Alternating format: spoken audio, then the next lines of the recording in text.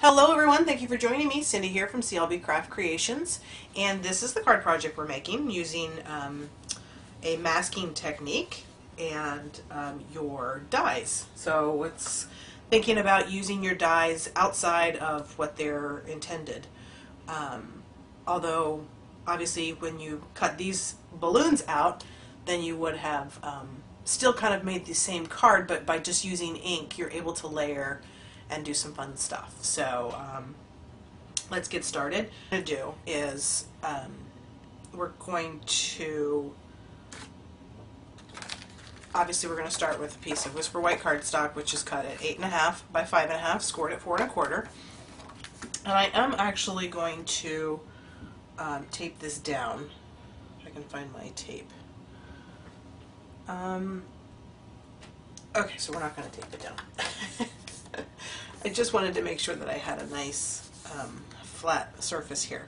Um, so I've got some, I'm obviously using the balloons um, framelits, and what I did is I cut myself a template just from a piece of, um, this is actually some old cardstock that I had, um, but I cut that out so that I could ink up because we're going to use this sponge daubers. But I also have a couple of extra pieces here because I want to do some masking with these. Now I know that I want the full one, I want a full one here. And then I'm going to put the other ones behind. Um, so it, it looks like a a um, a collection of balloons, obviously. So I'm just going to line my template up here with where I put my my balloons, or my balloon, and Okay, and I'm going to start with the Melon Mambo and my sponge dauber. Now, I'm going to want to I want to hold this tightly because I don't want it to move underneath.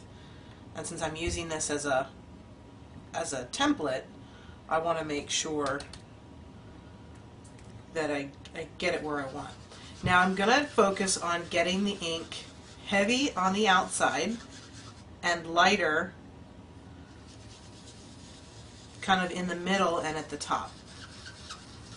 So we want the whole image, but to um, mimic the look of, you know, so I want to leave it kind of lighter there.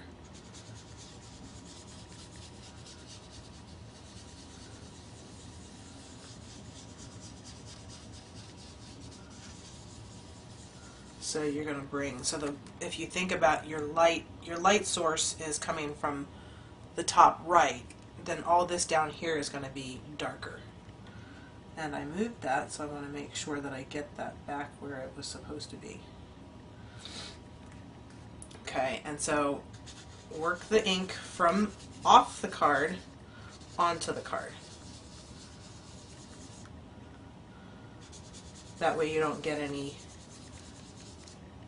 um, big splotchy marks and your your ink application is nice and smooth. Okay, now I can always go back and add more afterwards. So there's my my first balloon. Now what I want to do is I want to put this I want to I want to cover this. So what I need is some temporary adhesive. Okay. So what we want to do is we want to add a little bit of adhesive to the back. And I'm just going to kind of run my finger on it. I don't want it so sticky that it actually pulls up the paper. So by just putting a little bit of dot, you know, a little bit of adhesive on there and then just kind of attaching it. Now I want I don't want it to to move, but I also don't want it to stay there.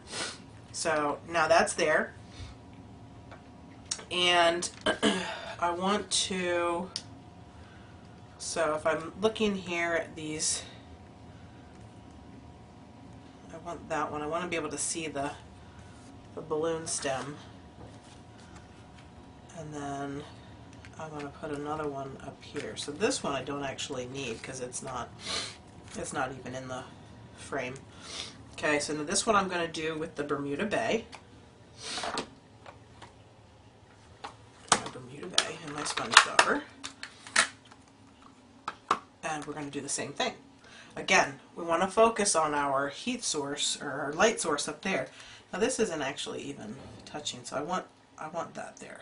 I'm, I'm moving it around a little here. Okay. Just make sure you prime your your daubers again off and then bring on. That way you can keep your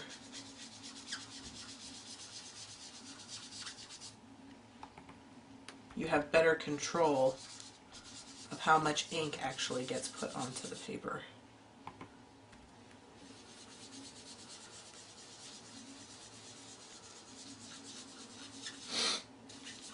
As long as you're getting all of that colored. Now I'm getting a little bit of color from the outside. So where I've inked up here, I'm getting a little of that color coming in, but it's okay. It'll it'll dry okay.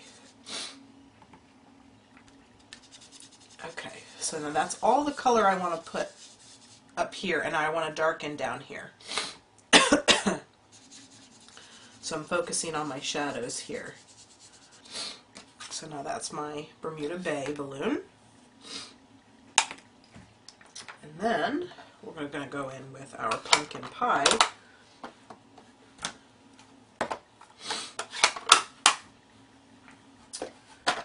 And so then we can take, if we need to, yeah, we're definitely going to need that there. Now I want to see, oh, I guess we don't. I wanted them to overlap, but I want to be able to see the the balloon. So I don't actually need the one over the Bermuda Bay. I just need it over the Melon Mambo. And I apologize, my allergies are so bad again. very stuffed, very stuffed up. okay, so now I'm going to take my sponge dauber and I'm going to do the pumpkin pie again the same the same way. I'm just going to dab onto my pad and I'm, I'm working off of a little scratch piece over here on my, my side where I'm making sure that I get my, my dauber kind of prepared. Again, starting off, now this is going to be the light area over here because remember the light is coming from the top right so that's going to be the lightest of our areas. Oops. And be very careful about placement.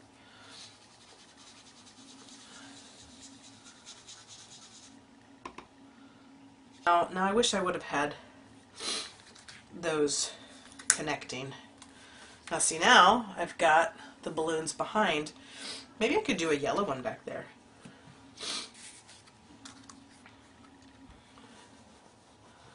Unless I did another one.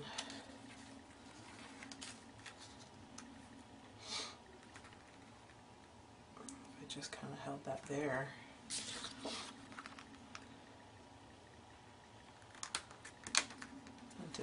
Yellow. Get my daffodil delight.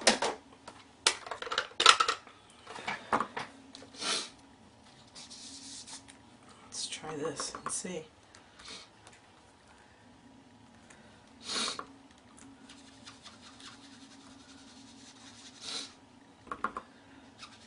It's all trial and error.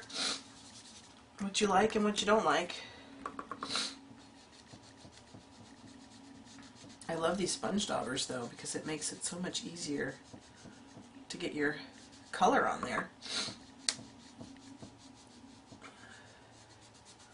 Okay, now I'm only going to go there and then what I'm going to do is I'm going to take this and I'm going to cover up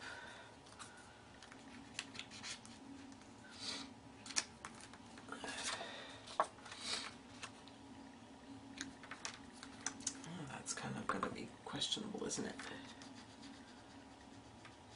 So I'm just going to be very careful. I'm just kind of working the edge here around the orange, around the pumpkin pie. And thankfully those colors are close enough that I can I can do that. And now I've got my yellow balloon back there, which I love. Perfect. Okay, so we're almost done with the card. We just need to get our greeting on and our um, and our strings, and we are good to go. So I'm going to use um, the Happy Birthday sentiment from the Tin of Cards, the stamp set, which goes with it. Actually has a card kit that goes with it as well. Um, but this is such a versatile set because it's it's basically a great sentiment set. I love the the fonts that they use in this set. Um, and then you have just kind of block lettering as well, which you use are are you actually supposed to use those for the tab dividers in the in the card kit. Um, but it's just I mean it's a great set. One of those things that you just kind of have all the sentiments that you need on hand. Now I'm going to put Happy Birthday down here in the bottom corner with my Memento Black.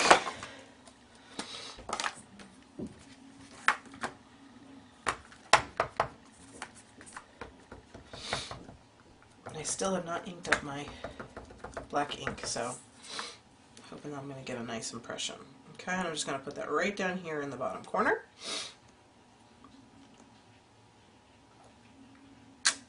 Perfect. Okay, and then I'm just going to take a black marker. You could use the Project Life if you have other journaling pens. Um, you could do that. If you have even some black thread, you could you could probably get those on there as well. I'm going to put a little right there, and then I'm going to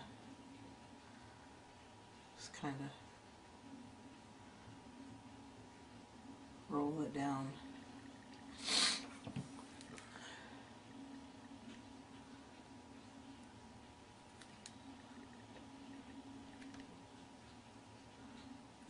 It kind of go behind the letters.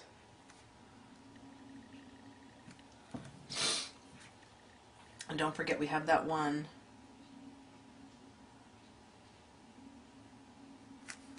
in the back.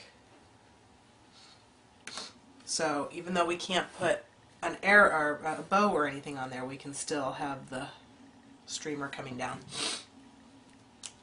And that finishes our card.